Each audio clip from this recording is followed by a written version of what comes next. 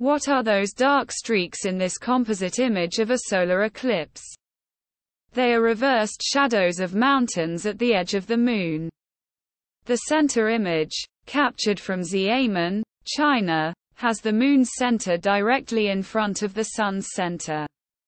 The moon, though, was too far from the Earth to completely block the entire sun.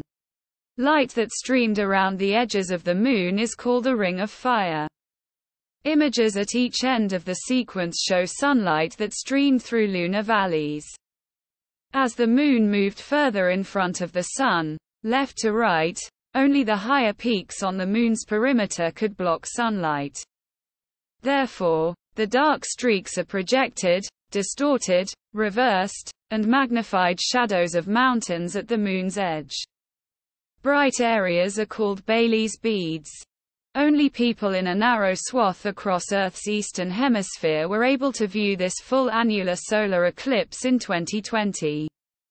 Next month, though, a narrow swath crossing both North and South America will be exposed to the next annular solar eclipse. And next April, a total solar eclipse will be visible across North America.